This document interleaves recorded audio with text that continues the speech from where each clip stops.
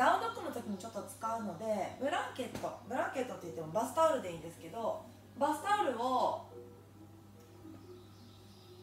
2つに折りますね。でそれをまた2つに折ります。そしたらそれを三つ折りにしていきます。三つ折りにして。でまたこれをもう一つ折ってブロック型にして使うかもしくはブロックがある方はブロックを使って。これあのちょうど挟むとブロック幅ぐらいになりますので同じぐらいになります。でこれを内ももに挟みながらまずキャッターの中から始めますね。どっち使ってもいいです。私は今日はブロックを使いますがブロックのない方はこの作ったブランケットを使ってください。では四つん這いに入ります。内ももブロック挟んで手は肩幅足は腰幅。で足の甲しっかり床をつきますね。ではそこから吸いながら骨盤からゆっくり動かして胸を前に出します。少し動きよりも呼吸の方が先に入るようにしていきます。吐く息で骨盤から一骨一骨背骨をぐーっと丸めましょう。お腹を覗き込んで内もものブロックをぐっと締めて内ももの使ってる感覚をしっかり味わってください。吸いながら骨盤からゆっくりと動かし胸を前鎖骨を開き大きく息を吸います。吸い切ったら吐く息で骨盤から一骨一骨背骨を丸めお腹を覗き込んで内もものブロックを締める。もう一度吸いながら骨盤からゆっくり動かし胸を前です。気持ちよく伸びて。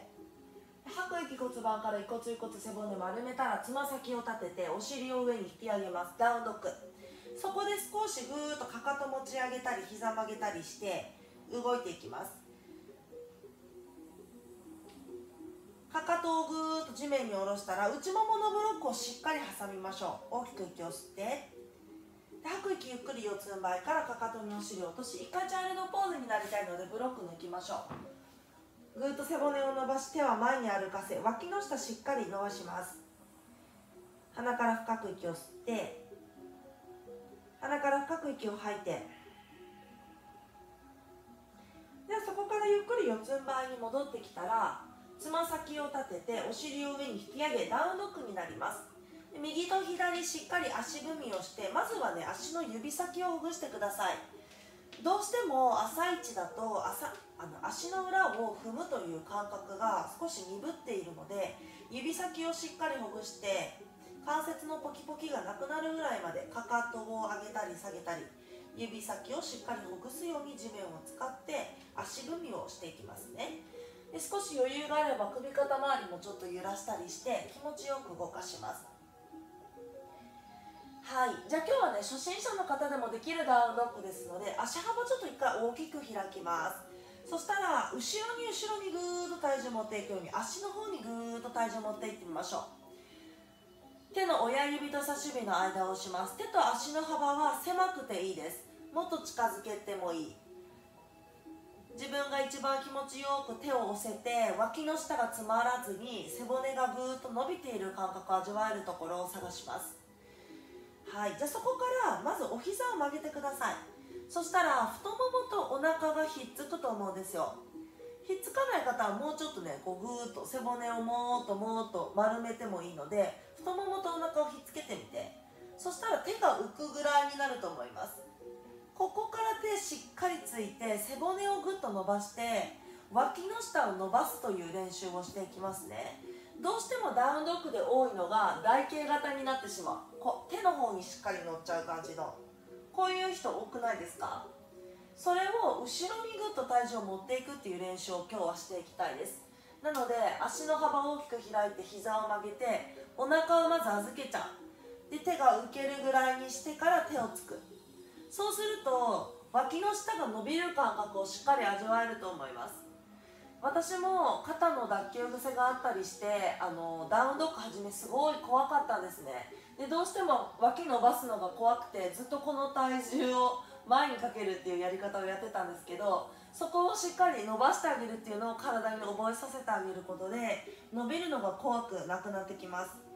でここで手の親指と差し指の間をぐーっと押してしっかりと脇の下を伸ばします。そしたら今度は足ですね。でちょっと1回戻ってきて四つん這いから戻ってもらって四つん這いから少し手のひらを前に持ってきます。肩よりも少し前に来てますね。そこからつま先を立ててお尻を上に引き上げてダウンドッグでこの距離がちょっと遠いなと思う方はまた足ちょっと前に歩かせていいです。で足幅も骨盤幅より大きく開いていいので手しっかり押しながら後ろに後ろに体重持っていく練習していきましょう。ぐーっと背骨を伸ばしてさっきの脇の下しっかり伸ばすのを思い出しながら今度は膝を曲げて太ももの中ぐーっと引き寄せたらそこからかかともぐーっと後ろに下ろしながら膝の裏側を伸ばしていきます。かかとが床につかなくてもいいのでぐーっと後ろに後ろに体重を持っていって足の裏側の伸びを感じれるようにしていきましょう。どうしてもねこう膝曲がって背骨曲がってってこういうダウンドッグになる方がすごい多いので今度は体重を後ろに持っていって足の裏を伸ばしていくというやり方をしていきますね。手はずっと押し続けます。さっきみたいに脇の下しっかり伸ばしてうん。で距離が遠いとどうしても怖いなって感じるかもしれないのでまずは近くやる。手と足の幅を近くしてしっかり後ろに伸ばしていくというやり方をしていきますね。でぐーっと伸ばしていく手の親指と人差し指の間もっと押してみて。大きく息を吸って。吐く息でゆっくり四つん這いに戻りましょう。かかとにお尻を落として一度チャイルドポーズでぐっと背骨伸ばします。鼻から深く息を吸って。鼻から深く息を吐いて。はい。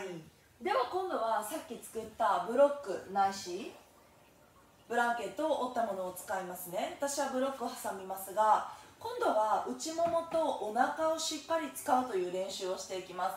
手を押すの分かりましたか？手の親指と人差し指の間をしっかり地面を押していく。そこで脇の下しっかり伸ばして足の方にぐっと体重を伸ばし背骨を長く伸ばしていきます。それをまずしっかり行った後今度は内ももとお腹の力を使う。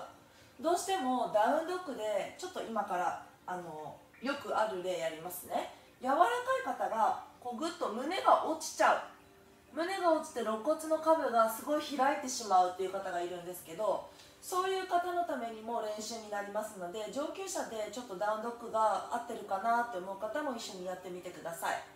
ではつま先立てていきますがちょっと手足あごめんなさい。肩よりもちょっと前に持ってきますね。つま先立ててお尻上に引き上げダウンドッグでもうねダウンドッグになったら手はもう動かさないです。もうちょっと距離が変わった方がいいなと思う方は足を動かす。足の幅を動かしてで手はもうそのままぐっと手の親指と刺身の間をぐっと押したままにします。じゃあこの内ももに挟んでいるブロックないしブランケットをしっかりぐーっと締めていきましょう。そしたら肋骨がぐんと出てる方も内もも使うことによってぐーっと内側に入ってくる感覚分かりますか？内ももの力とお腹の力ってヨガの時すっごく大切になるんですね。でこの内ももにブロブロックを挟んでいることによってお腹の力も同時にしっかり使います。なので肋骨下部がボーンと引き出ることがないのでしっかりとね自分の腰にコルセットを巻いた状態でダウンドッグになることができます。手の親指と差し指の間を押し合います。ずーっと地面と押し合う感じ。で脇の下しっかり伸ばしますね。で内もものブロックぐーっと挟んで鼻から深く息を吸って鼻から深く息を吐いてでもう一呼吸大きく息を吸って大きく息を吐いて。内ももお腹の使う力をしっかり感じたらゆっくり四つん這いに戻りましょう。ブロックを一度抜いてかかとにお尻を落としチャイルドポーズで背骨1回伸ばします。鼻から吸って鼻から吐いて。はいじゃあ吐き切ったら次の吸ゆっくりロールアップ頭最後になるように起き上がってきて一呼吸吐きましょう。どうですか？ちょっとできそうですか？じゃあね今度は道具を全部抜いてください。一緒にやってみましょう。四つん這いになって。手の親指と人差し指なんでしっかり押しますね。で手を少し前に持ってくる。四つん這いの時よりも手のひら1枚分ぐらい前に持ってきます。つま先を立てお尻上に引き上げてダウンドッグ。でこれでもし距離が遠いと思ったら手じゃなくて足を動かせるんでしたね。で後ろにぐーっと体重を持っていって手の親指と差し指の間をぐっと押す。そしたら内ももブロック挟んだ時思い出してください。ぐーっと内もも締めたらお腹使いますね。肋骨がボーンと出てる方はお腹を使う練習をしていきます。内ももとお腹の意識をしっかり使ってでそしたら脇の下もぐーっと伸びるので気持ちいいダウンドッグができます。ではそこから目線手と手の間右足左足一歩ずつ前そうやって背骨をぐーっと伸ばします。吐いて前屈顎を引いて。吸いながらロールアップで起き上がりましょう。膝曲げていいので両手上に気持ちよく伸ばします。吐く息胸の前で合唱1回だけスリアナマスカラ A いきましょう。吸いながら両手上に引き上げる。吐く息で股関節から床にダイブです。前屈顎を引いて。吸って尾骨頭頂を伸ばす。吐いて右足左足後ろプランク。そこで一呼吸吸います。吐いて膝胸顎同時に下ろす脇を締めて一度うつ伏せ顎引いて吸いながら足強くして胸を開いていく。この時も内ももしっかり使いますよ。手の親指と人差し指の間グーッと押したらつま先を立てお尻を上に引き上げてダウンドッグです。動かす時は足を動かす。体重は後ろにぐーっと持っていて脇の下しっかり伸ばすんでしたね。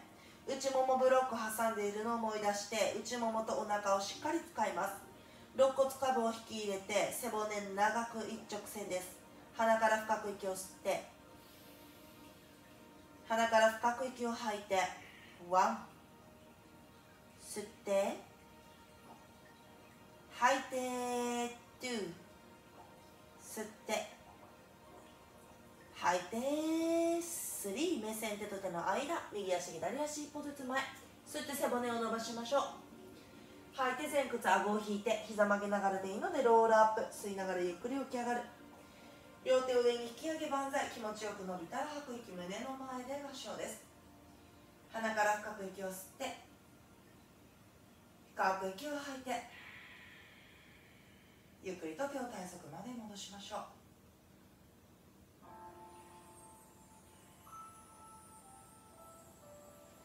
はいいかがでしたでしょうか？今日のクラスは終わっていきます。ありがとうございました。